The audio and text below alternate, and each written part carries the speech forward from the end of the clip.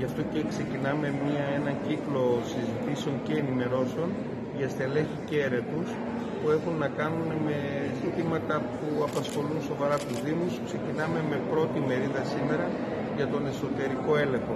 Θα ακολουθήσουν όμως και άλλες ημερίδες και για τον ψηφιακό μετασχηματισμό των Δήμων που το θεωρούμε πάρα πολύ σημαντικό εργαλείο ε, για το σχεδιασμό του αύριο των κοινωνιών μας ε, και για το θέμα των ενεργειακών κοινοτήτων που θα έλεγα ότι είναι ένα καυτό θέμα ε, με το κόστος ενέργειας και τα προβλήματα που αντιμετωπίζουν οι Δήμοι.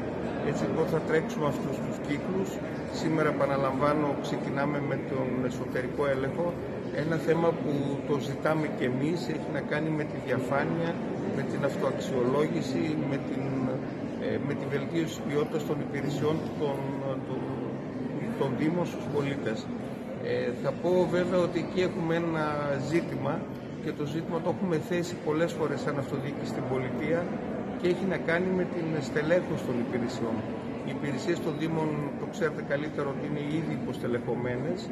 Ε, Επίσης, θα πω ότι για τον εσωτερικό έλεγχο χρειάζονται εξειδικευμένα στελέχη. Δεν μπορεί να κάνουμε εσωτερικό έλεγχο με την προτυποποίηση των διαδικασιών και την ποιότητα που θέλουμε να το κάνουμε με στελέχη που θα αποσπάσουμε από τμήματα. Θέλουμε εξειδικευμένα στελέχη και ζητάμε τη στελέχωση όλων των Δήμων της χώρας στα πρότυπα προηγούμενων διαγωνισμών, οριζόντια, ε, με εξειδικευμένα στελέχη, με συγκεκριμένες προδιαγραφές για να τρέξουν αυτά τα προγράμματα. Εμείς δίνουμε πάρα πολύ μεγάλη σημασία ε, στον εσωτερικό έλεγχο των υπηρεσιών μας, γιατί πιστεύουμε ότι θα είναι καθοριστικό στο να έχουμε καλύτερη ποιότητα υπηρεσιών στους πολίτες μας.